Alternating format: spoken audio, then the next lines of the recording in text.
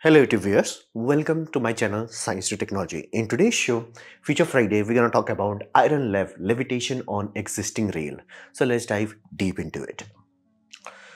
So why do we need something like this? Well, here's the deal. World needs better railway network. Every nation that has a brain is investing boatload of money on railway network. This is India's dedicated freight corridor. Yes, it's an electrical system with a double-decker carrying capacity. So every nation that really wants to grow needs to have a very good railway infrastructure. Unfortunately, while these systems are great, they cost boatload of money, meaning they are capital intensive on top of that they are also maintenance intensive meaning you, you built it everything is fine everything is dandy but also means you have to keep spending money on it. So it does work it's amazing but it does have like a serious capital cost. So and the primary reason this is the one of the best of uh, uh, one of the best method of moving bulk cargo from place a to b is simply because of lower rolling resistance compared to almost any other form. However it is lower resistance but it's not zero resistance. Meaning if you compare this to an aircraft it does not come close because again it's not floating. So if you compare this system with maglev maglev's primary uh, energy expenditure happens because of the wind and some amount of magnetic reluctance and also but like majority of the fighting happens from the wind point which again same for aircraft. But you can do this on a railway if you have magnetic levitation so, if you have wheels, before you reach that point where your atmospheric drag is starting to limit you, you will reach a limitation of the wheels, the friction, the bearings and all that jazz. So, there's a fundamental limitation. Like, can we push past it? Uh, if you are burning exponentially large amount of money and you are almost at unstable point, meaning it's uh, people won't be very comfortable at that speed. So, that's why we need something like this, but cheap. So IronLev, this company basically, uh, what they are proposing is that they're gonna use rare earth permanent magnet, meaning neodymium puppies, and uh, it will provide passive levitation, no power needed. Meaning, can we achieve maglev uh? Yes, very easy. Maglev is a known technology for one century. We know how to do this, how to build this. The problem is active electronics that are needed is very expensive. Uh, so fundamentally, Uh, it, it's a very complex active system. We want something that is passive, meaning you do not think about it. Like in normal railway system, if you turn off the power, nothing bad happens. It's just like, okay, it's off. You turn it on, nothing happens. And if you move the motor, see, yeah, it moves. So it's passive. We want something passive. So they are achieving that passive status using rare earth permanent magnet. And because of the flux density required, the oomph required, you have to use rare earth. Normal iron magnet won't do it. So they are using that. Now be mindful if you have worked with uh, magnetic bearings and things of that nature, you know for a fact they do work, but they are inherently unstable, meaning you would need some way to balance it out. So here they have rollers. Rollers are providing their um, balance so to say. They're not the load bearing one. You may think okay the roller looks like you know oh it's handling load. It's not. It's just there to provide guidance. It's the same way if you have seen all those toys where you have a spinner that is floating on the magnet but there is a pin that is stuck be, uh, behind a generally a glass wall to stop it from rolling outward same thing. It's just a, as a passive uh, stabilization system. Can you do it electrically? Yes, if you want absolutely floating system, you can do that. But again, then it backfires on you. You now again have a non-passive system. Rollers are far more passive, so they have on that. It's not completely floating. It's not like true maglev where it's like not a single inch of contact. Now the selling point is you can see normal railway track. They can just plonk it like a new bogie or new coaches, plonk it, done that's the point. Now, what will be the benefit? Reduce noise. You know, like, are they not touching? Uh, those contacts are not dumping load, so it's not uh, uh, bending the steel. But again, steel bending very little, but it does bend when you have like a few tons going every square inch. So there's a lot of noise coming there. You do not have that, and vibrations also is not happening. So this is the company, they have been working from Italy if I'm not mistaken for past few years. Uh, their first video was uploaded 6-7 years ago. Then they went silent and now they are coming back to the news because they have actually done this full scale testing. So let's dive deep into it. So how the heck they are achieving this? Well, uh, the good news, it's real, it's here, you can buy it. Uh, the company itself sells you the uh, roller kits that uh, you can use it. Now, rich people generally use this sort of roller kit for their fancy apartments where you have giant, super heavy doors that are like magnificent, but you're like, they're opening it like this, like a finger opening, like how? That's, that's how they're achieving it. So you can buy this and you can even build this if you are good with mathematics, uh, as in like calculating how much magnetic flux is needed, how much magnetic material is needed, you can build this. So what they are doing is making a closed loop of permanent magnetic flux path, meaning magnet uh, is like electricity. Magnetic field is like electricity in one way. It seeks a path of low reluctance, meaning it does not want to go through air. It wants to go through something that is magnetic. So fundamentally, that's how magnet applies action to a part that is somewhere else. So, and again, this is the core principle of switch reluctance motor. So if you have north and you have south, the flux wants to go from north to south as quickly as possible. It does not want to go through the long route. So if you give them a path, like a flux path, it will take shortcut to it, meaning it will physically apply force to it. Now you're like, okay, this looks it will work, but problem is, wouldn't it get stuck to one side or the another? Yes, that's why you need rollers. It will be uh, it will be stable in the center, but it won't be uh, stable enough where you're like, okay, I can push it. The moment you push it on any side, little bit here, little bit there, whoop, it will get stuck there. So you need rollers for that and it's a closed loop so magnetic field is not jumping outwards and again that's a desirable factor otherwise the amount of magnetic material needed would be too high so achieve the closed loop you do need to have uh, very high quality neodymium magnets and uh, the loop has to be closed now, how the heck they are achieving the floating part? Well, uh, thankfully, if you look into a profile of any railway, the path which will allow the most amount of flux to flow through is the head, this puppy, the head. So, benefit of that head is like it's it gets trapped it gets magnetically impinged there whereas like flux is like i want to flow through you when when you put load on it it's like no no no no no no no no i want to flow through you when it's like starts to lift up it's like no no no no no i want to pull down so it reaches a equilibrium point same happening here the steel rod that they uh, give you that rod is acting as the main flux path energy wants to be always in that neutral point whereas like flux is going most of the flux should go through here so you can have metal below it like this it won't affect it you can have metal little bit metal above it it won't affect it although for uh, for their rollers they're not selling you this they they have a bar which is cheaper. So that's how they are achieving the floating part. But again not a stable system. Fundamentally this system works but if the reason we don't use it everywhere is not stable it's not gonna stay there. So you need rollers.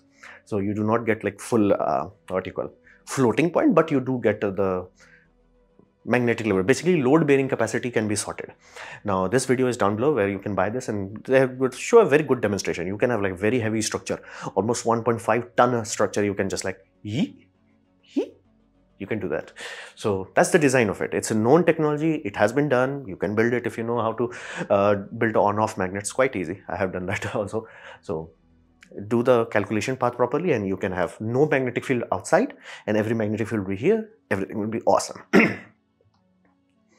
So if the science works, what are their hopes? Their hope is they're gonna uh, replace normal wheel rail bogies. Now, if you watch their videos, they're a bit uh, optimistic with their stuff because they say post wheel society. I'm like, uh, that's getting a bit extra. You still have rollers, so that's a bit too optimistic. But I get the point. Like they want to replace this wheel. Now, reducing wear and tear on the railways uh, and the bogies, both of them, it's a desirable thing because whenever you see a track like this, you have to understand whenever trains are going, it's putting a serious amount of strain on a very small spot. Even this hardened steel has an upper limit. It's like, bro, it can't keep doing this forever. It cracks, it gets damaged. Again, that's why we have to keep replacing it. So imagine if the same amount of tonnage, you spread it over, let's say, one meter square, a steel track would be like, bro, I'm got this. I'm good. I'm gonna, instead of lasting, let's say, 30 years, it can last six, 70 years, or even longer than that. And this is the same reason, like uh, why tanks can go through mud without getting stuck compared to other things. Why? It's just same amount of horsepower, but is spreading on a much larger area. So that's the whole point. The coupling is happening through the magnetic flux. So it's far more distributed, far more even rather than having this concentrated. Eh. So it will reduce wear and tear on both puppies. So that's desirable. Lower energy requirement for locomotive, meaning how much oomph you have to spend it to move it, would go down. Meaning you can have the same locomotive instead of pulling, let's say, uh, you can either pull more load or you can pull at higher speed, same amount of energy that would be desirable. And it will make uh, rail travel attractive again. Now humanity is suffering from a point that we have reached post uh, consumer uh, society so to say. Our needs have been taken care of so we have reached that point. The problem is that we want magical solutions now for everything. So we not we are no longer excited for good or it works. We want magic. So if you're telling some people, it's like, hey, what if we build high-speed railway from point A to point B? Everything will be awesome. We know it. Of course, it will be delayed, but it will be done. It, of course, it will be over expensive, but it will be done, and you will have something at the other end. People will be like, no, I don't want it. People want, I want hyperloop, sir. It can't be built. No, no, I want hyperloop, sir. You will burn billions of dollars, but it will not work. I want hyperloop, oh, and you just burn billions of dollars So you have to understand people want attractive things even at the cost of like, does it actually work or not? So what this company is trying to achieve is like, hey, railway, people are, nah, it's ugly, old technology. No, no, magnetic railway. Everyone's like, whoa. So that's what they are trying to achieve. Where it's like, let's make railway attractive again, where people will actually use a useful, awesome technology uh, rather than chasing magical hululu. So that's the hope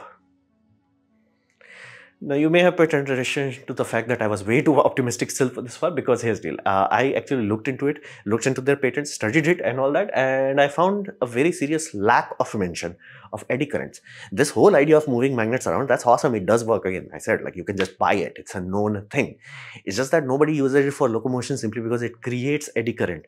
And it is so strong. That's how maglev moves in some electromagnetic design that's how they are doing it. They're inducing magnetic field on the structure and that's how you're pushing it. That's the fastest maglev. That's how it achieves it. It requires 100 kmph of speed then it creates enough eddy current on the tracks that just pushes it off. So somehow this design is just like i'm not gonna worry about it because it's a uh, basically what you call passive system is gonna be there. So how that you're moving it because that will convert into heat into the tracks. Now tracks are designed to be big thermal mass but again they are not designed to be heated electromagnetically.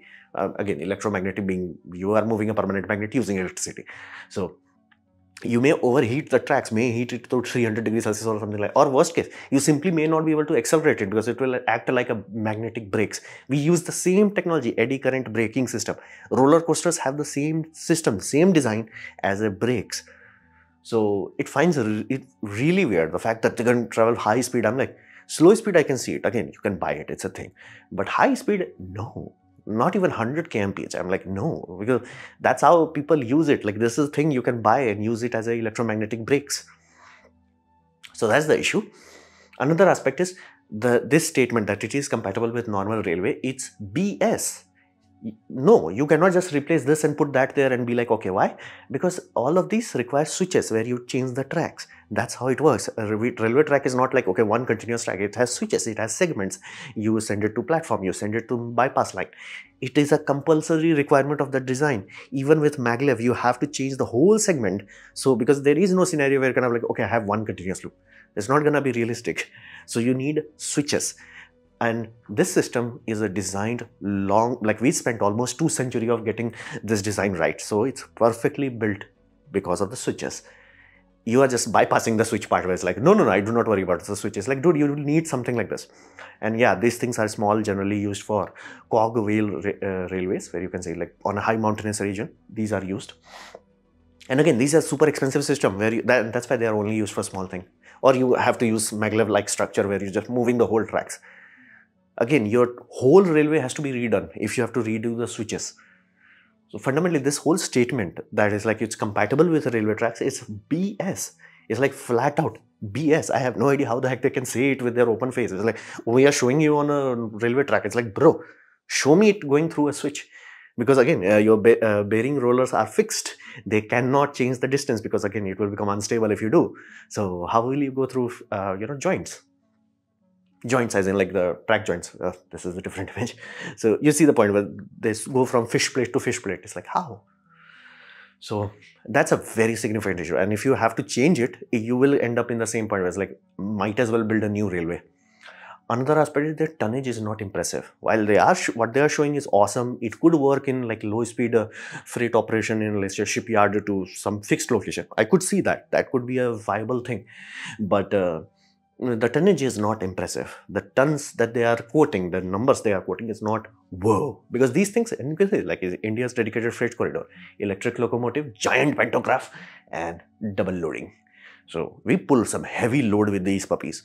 So how will you pull heavy loads? So that's why I, am like a these two things are very big issues like assume and the best i could find is like their design minimizes eddy current i'm like minimizing eddy current does not remove eddy currents So again, if they had said like till 100 kmph, I would have bought it. Whether they're like, no, at high speed, I'm like, high speed assumes more than 100 miles per hour generally. Yeah, that's not happening. So that's one of those things that I was like, no, on a fundamental level, that part, I'm like, no. Another is like, even assume, let's say their magical design somehow does not create eddy currents or creates so little that it's not an issue. That could be true. Uh, the switch part, I'm like, that was like, no, no you have to change switches. And if you change the switches you will realize very quickly switches are the main expensive part. Very expensive part. And this designs while they do exist the reason you don't see it everywhere it's so expensive even in uh, the wheeled Shinkansen as in like bullet train of uh, Japan they also do not use this. It's too expensive. So fundamentally there are some serious limitation. I could see very limited use case but uh, do not see it like this oh we're gonna replace a normal system. I've seen other design that is trying to do that. I'll cover that next week. But this was IronLev. So this was my presentation on IronLev magnetic levitation on normal railway tracks. Hopefully you guys have liked it, learned from it. In that case, please click the like button, share it amongst your friends. That will help me a lot. If you didn't like it, didn't enjoy it, I urge you to press dislike, press it twice to show me extra disappointment. Please leave a comment because I do try to reply to all of them. Subscribe, press the bell icon if you're free, and as always, thanks for watching.